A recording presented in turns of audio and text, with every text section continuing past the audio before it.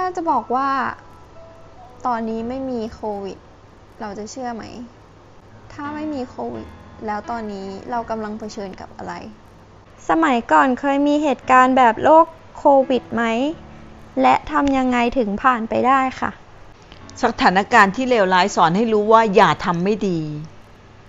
อย่าลืมกดติดตามกด subscribe แล้วก็กดไลค์กดแชร์กันด้วยนะคะ โควิดก็ทำให้ยิ่งคิดเลยนะคะว่าไม่ใช่โควิดก็เป็นโรคที่จะตั้งชื่ออะไรก็ได้ด้วย อาจจะไม่ชื่อโควิด อาจจะซูเปอร์โควิดก็ได้ ถ้าไม่ใช่โรคโควิด มันก็เป็นโรคอื่นได้ อย่างปกติแล้วเวลาที่เราขับรถ เราก็จะเห็นว่ามีอุบัติเหตุ ที่เกิดขึ้นอาจที่จะทำให้ถึงขั้นเสียชีวิตได้ อาจจะพิการปอดพิการทางสายตาหรือว่าการอ่าได้ยิน มันก็ทำให้เราเห็นว่าโควิดก็เป็นภัยที่ไม่ใช่ใหม่ เป็นเหมือนกับว่ามันก็เป็นภัยที่ทุกวันนี้เราก็เจออยู่แล้ว กลัวโควิดใช่ไหมคะสิ่งที่น่ากลัวกว่าโควิดเยอะเลยค่ะ แต่ว่า มีอีกหลายโรคนะคะ แต่สิ่งที่น่ากลัวมากมากเลยอะ่ะ ไม่รู้จักโควิด เพราะโควิดคืออะไร บอกแล้วไงโควิดก็คือแค่ชื่อแล้วก็ตั้งมา แล้วใครจะโดนเชื้อนี้เข้าไป บางคนก็โดนป้องกันอย่างดีเลยค่ะ ก็เป็นก็ได้ ไอ้ไม่ได้ป้องกันเลย แต่ไม่เป็นเลย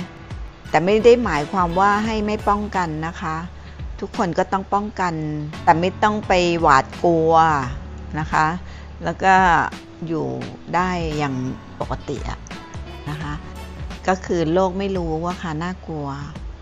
ไม่รู้จักเลยว่าวันนี้มีชีวิตอยู่ แต่ละอย่างเนี่ยมันเป็นอะไรบ้างว่ามันไม่ใช่เราค่ะ มันเป็นแต่ละอย่างแต่ละอย่างที่เกิดขึ้นมา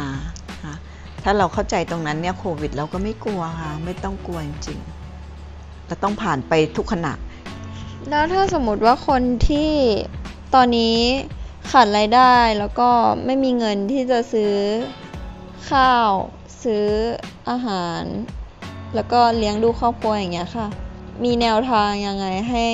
เขาได้ดำเนินชีวิตอย่างไม่เดือดร้อนใจ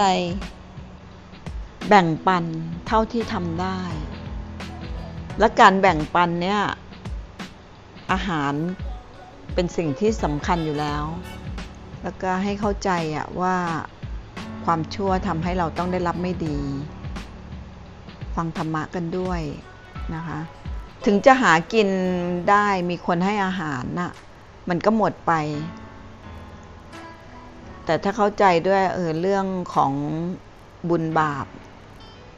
ยังจะทำให้เราช่วยคลายความทุกข์เศร้าไปได้บ้าง คนรวยอะรับกรรมหรือเปล่า คนจนก็รับกรรม แต่คนจนอะลำบากฟังดีๆนะคะ อันนี้ยากเข้าใจค่ะ แต่ฟังดีๆ แล้วจะสบายใจขึ้นอีกเยอะเลย ดีกว่าคุณได้อาหารแล้วก็หมดไป แต่ไม่ใช่ฟังแล้วก็เลยไม่ต้องได้อาหารไม่ต้องกินข้าวไม่ได้หมายถึงอย่างนั้นนะคะ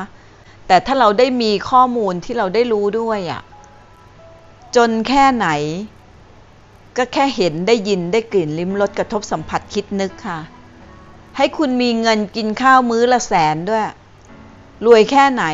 ก็เหมือนกับคนจน คือเห็นได้ยินได้กลิ่นลิ้มรสกระทบสัมผัสคิดนึก แล้วถ้าสู้จนไม่รู้จะสู้ยังไงแล้วอะจะสู้กับอะไรไหนบอกหน่อยสิหคะมายถึงแบบทำงานแล้วหาเงินยังไงก็ไม่ได้ หาไม่ได้ หาไม่ได้เชื่อไหมว่ายังไงยังไงก็อยู่ได้ลำบากกายไม่เท่าไหร่ ลำบากใจเนี่ยแย่ ทุกคนจะต้องผ่านไปค่ะนะคะก็ขอให้ทุกคนน่ะมีโอกาสก็ฟังธรรมะกันด้วย ทุกอย่างต้องผ่านไปจริงๆค่ะไม่มีอะไรอยู่ตรงนี้หรอกค่ะ ผ่านไปแล้วก็